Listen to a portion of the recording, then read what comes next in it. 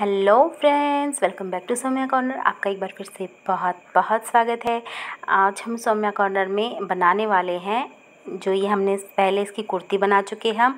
तो अब मैं लेके आई हूँ उसका दूसरा पार्ट जिसमें हम आपको बनाना सिखाऊँगी धोती सलवार। ये कुर्ती की वीडियो आपने अगर अब नहीं देखी अभी तक तो लिंक मैं इसमें डिस्क्रिप्शन बॉक्स में डाल दूँगी। फटाफट से जाके आप चेक कर लीजिए। देखिए कितना देखने में सुंदर ये सूट लग रहा है। और पहले हमने कुर्ती बनाई थी, और आज हम बनाने वाले हैं इसके लिए धोती सलवार। तो ये देखिए, धोती सलवार भी कितना अच्छा सा इसका लुक आया है। बहुत ज़्यादा सुंदर देखने में लग रही है और बनाना इसको उतना ही आसान है। बस देखने में लग रहा है, पता नहीं कितना झंझट होगा, लेकिन फटाफट से बन के तैयार हो जाती है। तो इसके लिए मैंने देखिए लिया है ये सवा दो मीटर कपड़ा, लेकिन मेरा जो कपड़ा था वो बहुत इसका चौड़ा अरस था तो मेरे को ये बहुत ज़्यादा एक्स्ट्रा रह गया। दो मीटर कपड़े में भी ये बहुत आराम से बन के तैयार हो जाती। तो मैंने डबल फोल्ड में इसको बिछा लिया था। अब इसका एक कोना उठाते हैं, मैं इसको इस तरह से समोसे की से बोलते हैं वो मैं शेप इसको दे दूँगी, एक कॉर्नर से इस तरह से इसको फोल्ड कर दूँगी। तो इस तरह से बिल्कुल कोने में लाते हुए मैंने अच्छे से इसको फोल्ड कर लिया है। अब ये देखिए, जितना भी एक्स्ट्रा कपड़ा रह रहा है, इसको मैं निकाल दूँगी। अब यहाँ पे भी आप पीक मैंने यहाँ पे गलती करी, मैंने इतना कपड़ा पहले निकाला, लेकिन अगर आप मार्किंग पहले कर लेते हैं तो जो एक्स्ट्रा कपड़ा रहेगा, वो एक साथ आपका निकल जाएगा। तो ये गलती आप मत कीजिएगा जो मैंने की है। तो पहले आप मार्किंग कर लीजिएगा, उसके बाद आप एक्स्ट्रा कपड़ा कट कर लीजिएगा। अब यहाँ से हम, क्योंकि कॉर्नर में से जो जो हमारी धोती सलवार है, वो थोड़ा सा ऊपर खिंचती ही खिंचती है। तो इसलिए इसलिए मैं यहाँ पे दो से ढाई इंच जो है वो छोड़ के उसके बाद मार्किंग करूँगी। तो मैंने यहाँ पे दो से ढाई इंच के करीब छोड़ लिया है और उसके बाद मैं यहाँ पे थर्टी फाइव पे मार्किंग करूँगी क्योंकि मेरी जो धोती सलवार है, उसकी लंबाई जो है तैयार वो रहेगी थर्टी नाइन इंचज़ तो थर्टी नाइन इंचज़ के लिए क्योंकि मेरे को सात इंच की इसमें बेल्ट भी ऐड करनी है तो थर्टी नाइन इंचज़ के लिए मैं इसमें थर्टी फाइव पे निशान लगाऊँगी। तो ये देखिए थर्टी फाइव पे मैंने यहाँ पे मार्किंग कर ली है। ये थोड़ा सा मैंने छोड़ दिया था। अब यहाँ पे पहुँचे के लिए शुरू, बिल्कुल नीचे से हम निशान लगाएँगे साढ़े छः इंच पे। और ये देखिए, इस तरह से साढ़े छः इंच पे हमने बिल्कुल कॉर्नर से निशान लगा लिया है।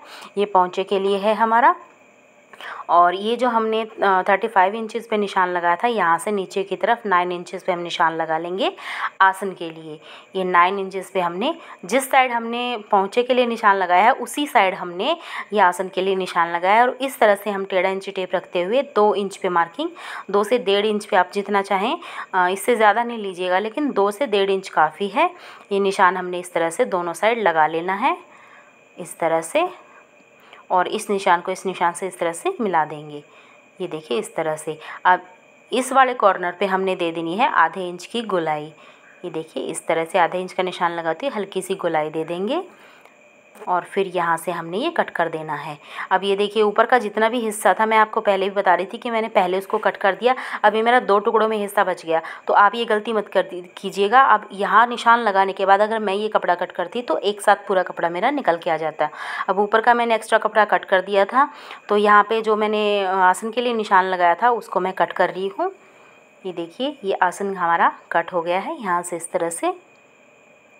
ये देखिए। ये हो गया आसन कट। और अब यहाँ पे जो हमने साढ़े छः इंच पहुँचे के लिए निशान लगाया था, यहाँ पे भी हम हल्की सी कटिंग दे देंगे, जिससे कि पहचान हो जाए।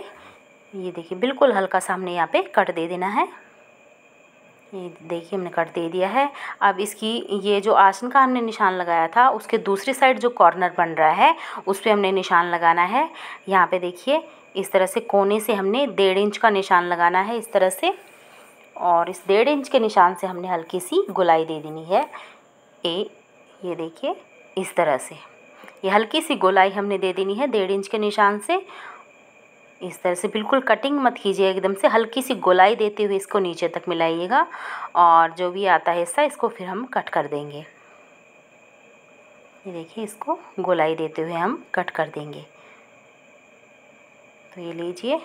ये हमारी कटिंग हो गई है। अब काट लेते हैं इसके लिए बेल्ट तो ये बेल्ट हमने देखिए कपड़ा जो इसी में से बचा हुआ था वो कपड़ा हमने ले लिया। सात इंच के हम इस पर बेल्ट लगाएँगे। सात इंच की चौड़ाई रहेगी और बेल्ट की लंबाई आप अपने हिसाब से देख लीजिएगा। मैं यहाँ पे ट्वेंटी टू से ट्वेंटी थ्री इंच की बेल्ट जो है वो आ, मेरे लिए इनफ रहेगी। तो मैं उस बेल्ट उसके हिसाब से कटिंग कर ले रही हूँ। ये देखिए ये देखिए। तो ये ट्वेंटी टू पे मैं निशान लगा के ट्वेंटी टू इंच मैंने डबल फोल्ड है और ये कपड़ा डबल फोल्ड में ट्वेंटी टू इंच पे मैंने निशान लगा लिया और सात इंच की मैंने चौड़ाई रखी है। तो ये बेल्ट हम यहाँ से कट कर ले रहे हैं। इस तरह से निशान लगाते हुए बेल्ट हम ये कट कर देंगे फिर। ये देखिए, निशान मैंने लगा दिया है। ये देखिए, इस तरह से अब यहाँ से बेल्ट कर देंगे। और चैनल अगर आपने अभी तक सब्सक्राइब नहीं किया तो आपसे रिक्वेस्ट है, आपके सपोर्ट की मुझे बहुत ज़रूरत है। प्लीज़ चैनल को सब्सक्राइब कीजिए और अपने नियर एंड डियर वंस के पास भी इसका लिंक ज़रूर सेंड कीजिए, जिससे कि मुझे आपका सपोर्ट मिल सके और अपने कमेंट मुझे ज़रूर बताइएगा। तो ये हमारी धोती, सलवार और बेल्ट की कटिंग हो चुकी है तो आप चलते हैं स्टिचिंग की ओर। स्टिचिंग के लिए कई बार क्या होता है, कन्फ्यूजिंग होती है कि कौन सा आसन हमने सीलना है। तो इसमें हमें दो पार्ट मिलेंगे। तो दोनों पार्ट को अलग अलग कर लेना है और एक आसन उधर से उठाएँगे, एक हिस्सा उधर से उठाएँगे और उनको स्टिच कर देंगे। इसी तरह से फिर दूसरी साइड का होगा। दोनों आसन का जो है, दोनों साइड की सिलाई हमने इसी तरह से करना है। एक पार्ट इधर से लेना है, एक पार्ट उधर से लेना है। तो ये दोनों आसन यहाँ से मैं इसकी स्टिचिंग कर दूँगी। और फिर मैं ये बेल्ट तैयार करूँगी दोनों साइड से सिलाई लगा के और ऊपर से मैं लास्टिक डालूँगी तो मैं लास्टिक के लिए भी इस तरह से फोल्ड करके और फिर बाद में इसमें लास्टिक डालूँगी। तो मैं बेल्ट और ये आसन दोनों तैयार कर लेती हूँ, फिर आपको दिखाती हूँ।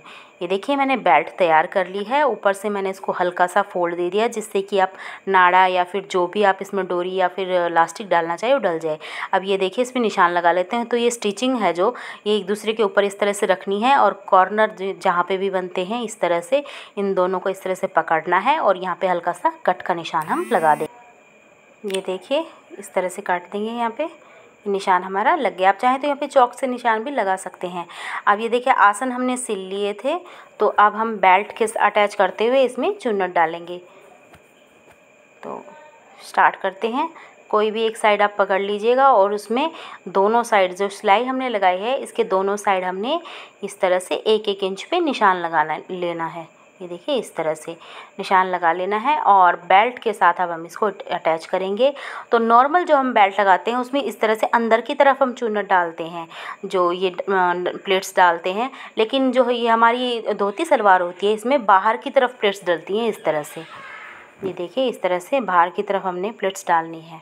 और जो ये कॉर्नर आ जाता है, इससे बाहर की तरफ़ डलेंगी और कॉर्नर से हमने फिर अंदर की तरफ़ डालनी है। तो जैसे सिलाई होगी, मैं आपको दिखाती हूँ। तो चलिए सिलाई करते हैं। अब ये बेल्ट हमने ली है और इसमें जो फ्रंट हमने बनाया है, उस उस साइड से हमने इसको अटैच करना है। तो सिलाई के ऊपर सिलाई रखनी है। ये वाली सिलाई है, इसको सिलाई के ऊपर रखना है। इस तरह से। और जो बेल्ट है, उसको नीचे की तरफ़ रखना है और जो हमारा फैब्रिक है जिसमें चुनट हमने डाली है, वो ऊपर की तरफ़ रखना है। तो चलिए सिलाई की तरफ़ चलते हैं। फिर आपको अच्छे से दिखाते हैं। तो देखिए, इस तरह से बाहर की तरफ़ हमने इस तरह से बाहर की तरफ़ चूनट डालते जाएँगे। इसमें प्लेट्स डालते जाएँगे। दो दो तीन प्लेट्स एक साथ डालेंगे और इनकी सिलाई लगाते जाएँगे। इस तरह से।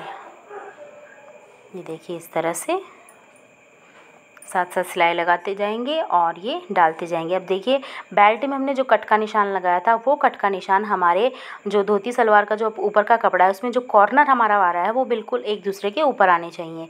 मतलब हमारी प्लेट्स जो हैं, बिल्कुल परफेक्ट डल रही हैं तो इस बात का हमने ध्यान रखना है।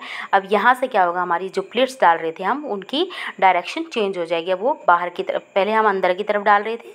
अब ये देखिए, इस तरह से दूसरी साइड इनका इस तरह से। ये दूसरी साइड से अभी चल चली जाएँगी प्लेट्स और यहाँ पे इनकी सिलाई लगती चली जाएगी। तो बहुत अच्छी सी यहाँ पे गुलाई आ जाएगी दोनों प्लेट्स के आपस में मिलके। तो इस तरह से सारे प्लेट्स हमने डाल लेनी है। अब इस बात का ध्यान रखना है कि जो इसकी बेल्ट की सिलाई आएगी, वो ऊपर वाला हिस्सा जो है, जहाँ पे हम प्लेट्स डाल रहे हैं, उसकी सिलाई के बिल्कुल ऊपर इक्वल आनी चाहिए। तो इस तरह से ये देखिए, सिलाई के ऊपर सिलाई रखते हुए जितना भी कपड़ा बचा है उसके प्लेट्स डाल देंगे और सिलाई कंप्लीट कर देंगे। तो ये देखिए, अब इस तरह से जैसे हमने दूसरी साइड की प्लेट्स डाली हैं जो एक साइड हमारी बची हुई है, वो प्लेट्स भी सेम ऐसे ही डलेंगी और ये सारी प्लेट्स में डाल के तब आपको पूरी सलवार दिखाती हूँ। अब ये देखिए, पूरी प्लेट्स मैंने डाल ली हैं बेल्ट हमारी अटैच हो गई है। अब इसमें ऊपर की साइड सिलाई लगाएँगे तो ये ऊपर की तरफ़ कपड़ा पकड़ते हुए और यहाँ से ऊपर से हम ये स्टिच चारों तरफ़ से लगा देंगे। इसकी पूरे सर्कल में ये सिलाई हमने लगा के तैयार कर लेनी है। अब आते हैं नीचे की तरफ़ पाँचे बनाने के लिए जो हमने कट्स लगाए थे, इन कट्स पे पे से हमने सिलाई लगानी है। इस तरह से बिल्कुल हल्का हल्का सा डबल फोल्ड हमने इसको देना है और ये सिलाई जो है हमने पूरे राउंड में यहाँ पे कोने से भी इस तरह से मोड़ते हुए और एक बार फिर इस तरह से फोल्ड ये देखिए, इस तरह से फोल्ड करेंगे और इसमें पूरे में इस तरह, यहाँ से शुरू करके यहाँ तक पूरी सिलाई लगा देंगे। दोनों पाँचे हमने इसी तरह से तैयार करने हैं। ये वाले पे भी हम ऐसे ही मार्किंग करी थी तो उस पर भी हमने ऐसे सिलाई लगा के तैयार कर लेना है। अब आती है बीच की सिलाई की बारी, जहाँ से हमने कट लगाया था और जहाँ से नीचे तक हमने पहुँचे की सिलाई करी है, इससे ऊपर का जितना फैब्रिक बचता है, उससे क्या हमने आसन से आसन मिलाना है और दोनों टांगों की इस तरह से सिलाई जो हमने कर देनी है। ये सिलाई लगाते हैं, फिर आपको दिखाते हैं। तो ये देखिए, हमारी धोती सलवार जो है वो बनके बिल्कुल रेडी हो चुकी है। बहुत ज़्यादा सुंदर ये हमारी सलवार लग रही है और देखिए, पूरा सूट हमारा इस तरह से तैयार हो चुका है। बेहद सुंदर इसका लुक आया है। बिल्कुल देखने से लग रहा है कि रेडीमेड ही हमने ख़रीदा हुआ है। तो आप भी इस सूट को ज़रूर बनाइएगा। अपने कमेंट्स मुझे ज़रूर भेजा कीजिएगा और चैनल सब्सक्राइब नहीं किया है तो प्लीज़ प्लीज़ प्लीज़ जल्दी से सब्सक्राइब कर लीजिए और अपना प्यार ऐसे ही बनाए रखिए। तो ये थी आज की video. Thank you very much friends bye bye take care